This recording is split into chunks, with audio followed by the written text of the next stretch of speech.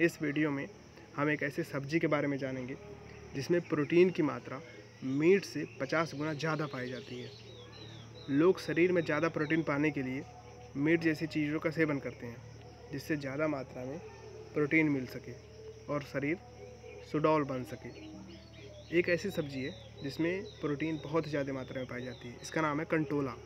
कंटोला एक ऐसी सब्ज़ी है, जो आपके शरीर की सभी बीमारियों को तेज़ी से दूर कर सकती है। कंटोला को ककोड़े और मीठा करेला नाम से भी जाना जाता है।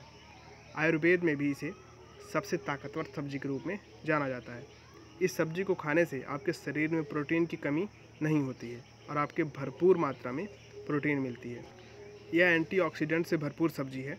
इस सब्ज़ी में मीट से 50 गुना ज़्यादा ताकत और प्रोटीन होती है। कंटोला बाज़ारों में मानसून के मौसम में अधिक देखने को मिलती है।